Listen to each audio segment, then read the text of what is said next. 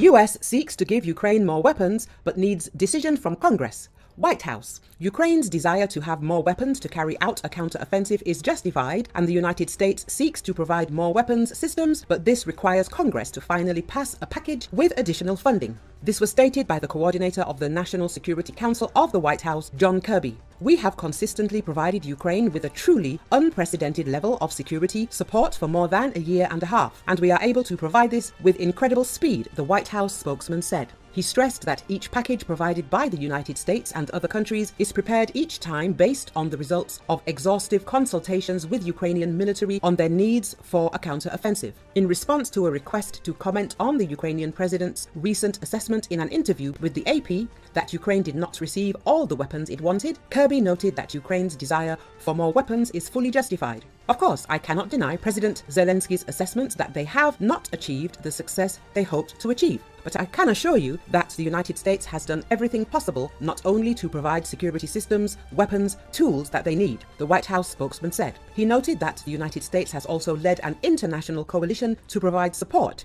to Ukraine.